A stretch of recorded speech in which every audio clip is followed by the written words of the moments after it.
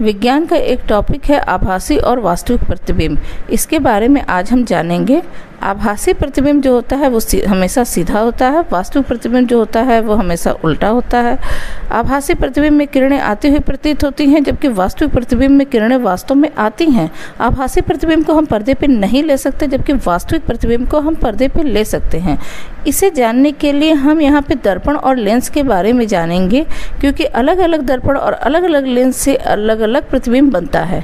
तो दर्पण क्या होता है? दर्पण एक वस्तु है जो एक छवि को दर्शाता है।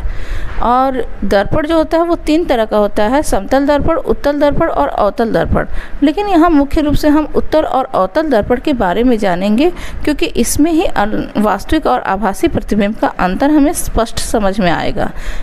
तो जो यहाँ पे देख रहे हैं उत्तल और अवतल दर्पण का चित्र। उत्तल दर्पण जो होता है, वो बीच में उभरा हुआ होता है और उसके पीछे पेंट किया हुआ होता है। अवतल दर्पण जो होता है, वो बीच में धसा हुआ होता है और उसके भी पीछे पेंट किया होता है।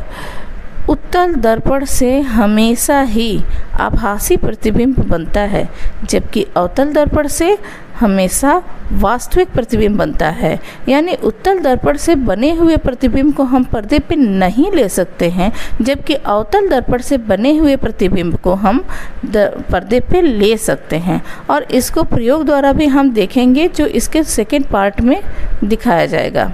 यहाँ पे हम चित्र द्वारा देख रहे हैं कि उत्तल दर्पण जो होता है, वो दूर की चीज़ों को कैसे छोटा करके दिखा देता है और अवतल दर्पण जो कि टॉर्च में और डॉक्टर के दांत के इलाज में काम आने वाली वस्तुओं में शामिल है। तो इस तरह से हम देख रहे हैं कि उत्तल और अवतल दर्पण की प्रकृति में अंतर होता है और इसके द्वारा बने हुए प्रतिबिंब में भी अंतर होता है। अगला जो चीज़ है वो हम पढ़ेंगे लेंस। लेंस एक प्रकाशिक युक्ति है, जो प्रकाश के अपवर्तन के सिद्धांत पे काम करती है।